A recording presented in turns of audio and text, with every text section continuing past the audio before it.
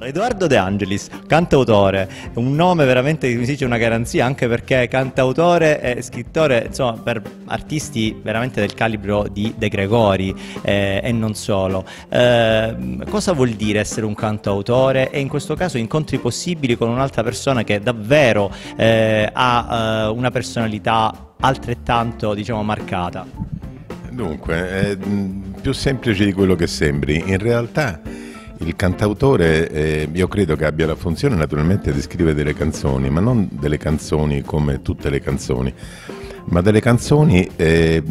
tratte, estratte, ispirate dalla realtà della vita, dalla, eh, dell'uomo, la posizione dell'uomo nel mondo. Insomma, il cantautore eh, dovrebbe avere la responsabilità di raccontarci la nostra vita, la nostra società, quello che succede di bene e di male e in qualche modo, eh, come dire, eh, risvegliare l'attenzione delle, delle, coscienze, tenere sempre alta una sensibilità su quello che ci accade intorno. Questo credo che, credo che sia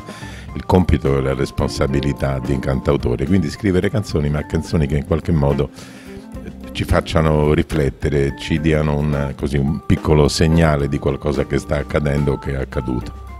questo contesto storico molto particolare, eh, tra l'altro Renato Costabile eh, all'inizio di ogni eh, evento richiama sempre eh, le differenze, che poi sono differenze alle volte a livello etnico, alle volte a livello sessuale, che comunque possono diciamo, unire e, e non devono spaventare.